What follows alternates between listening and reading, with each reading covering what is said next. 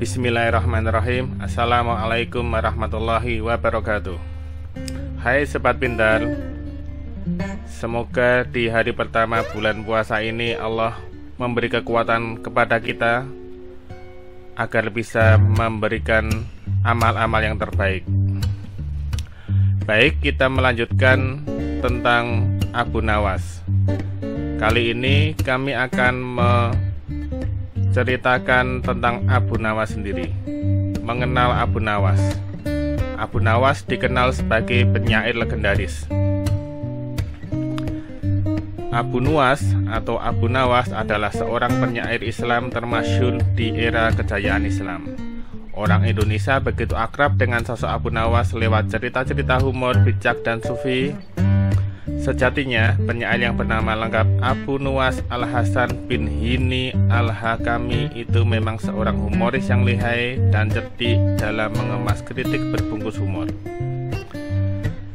Diperkirakan Abu, Na Abu Nuwas terlahir antara tahun 747 hingga 762 Masehi. Ada yang menyebut tanah kelahirannya di Damaskus. Ada pula yang meyakini Abu Nuwas berasal dari Basra. Versi lainnya menyebutkan dia lahir di Ahwas. Yang jelas, ayahnya bernama Hani, seorang anggota tentara Marwan bin Muhammad atau Marwan I, khalifah terakhir dinasti Umayyah di Damaskus. Sedangkan ibunya bernama Gulban atau Celeban, seorang penenun yang berasal dari Persia. Sejak lahir hingga tutup usia, Abu Nuwas tak pernah bertemu dengan sang ayah. Ketika masih kecil, sang ibu menjualnya kepada seorang penjaga toko dari Yaman bernama Sa'ad al-Yasiro. Abu Nuwas muda bekerja di toko grosin milik tuannya di Basra, Irak. Sejak remaja, Otak Abu Nuwas yang encer menarik perhatian Walibah Ibnu Al-Hubab Seorang penulis puisi berambut pirang Al-Hubab pun memutuskan untuk membeli dan membebaskan Abu Nuwas dari tuannya. Sejak itu Abu Nuwas pun terbebas dari statusnya sebagai budak belian. Al-Hubab pun mengajari tentang teologi dan tata bahasa. Abu Nuwas juga diajari menulis puisi. Sejak itulah Abu Nuwas begitu tertarik dengan dunia sastra. Ia kemudian banyak menimba ilmu dari seorang penyair Arab bernama Khalaf al-Ahmal di Kufah.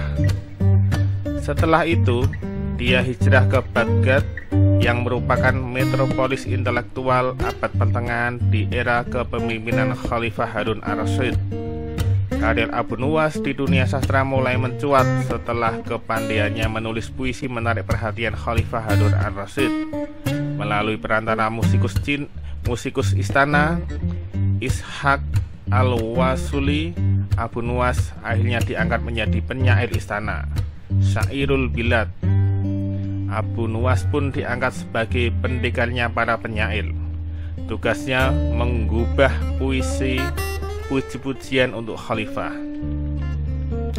Kegemarannya bermain kata-kata dengan selera humor yang tinggi membuatnya menjadi seorang legenda. Namanya juga tercantum dalam Dongeng Seribu Satu Malam. Meski sering ngocol, ia adalah sosok yang jujur. Tak heran bila dia disejajarkan dengan tokoh-tokoh penting dalam hasanah keilmuan Islam. Kedekatannya dengan khalifah membuatnya berakhir di penjara. Suatu ketika Abu Nuwas membaca puisi Khalifah Bani Mundar yang membuat Khalifah tersinggung dan murka. Sejak mendekam di penjara, puisi-puisi Abu Nawas berubah menjadi religius. Kepongahan dan aroma kendi tuaknya meluntur, seiring dengan kepasrahannya kepada kekuasaan Allah.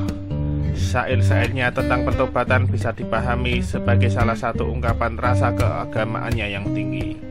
Sajak-sajak tobatnya bisa ditafsirkan sebagai jalan panjang menuju Tuhan. Puisi serta syair yang diciptakannya menggambarkan perjalanan spiritualnya mencari hakikat Allah. Kehidupan rohaniyahnya terbilang berliku dan mengharukan. Setelah menemukan Allah, inspirasi puisinya bukan lagi homer, melainkan nilai-nilai ketuhanan. Di akhir hayatnya ia menjalani hidup zuhud seperti tahun kelahirannya yang tak jelas, tahun kematiannya terdapat beragam versi antara 806 Masehi hingga 814 Masehi. Ia dimakamkan di Sunisi, jantung kota Baghdad. Abu Nuwas atau Abu Nawas adalah salah satu sastrawan Arab terbesar. Demikian cerita atau kisah atau biografi tentang Abu Nawas. Semoga bermanfaat Wassalamualaikum warahmatullahi wabarakatuh.